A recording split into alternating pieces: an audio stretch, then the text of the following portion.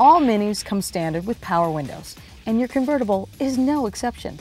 Let me show you how to put down your windows on both the passenger side and the driver side using what we call One Touch. Go ahead and check out your center console. You can just flick down the toggle switch on the passenger side window in this case, and all by itself, your window goes down. Now to put it up, you do have to press and hold the toggle switch. So I'll go ahead and do that for you now. And the window goes back up. Now let's say you're driving along and you want to put down all four windows at the same time and get that convertible motoring experience that you want to get, wind in your hair and whatnot. Well, guess what? We can do that now with your express down. It's also one touch. This little toggle switch two from the left side. Just flick the switch down and all four windows go down at the same time. Now, to put all four windows up, you actually have to take that toggle switch, press it up, and hold it. I'll do that now.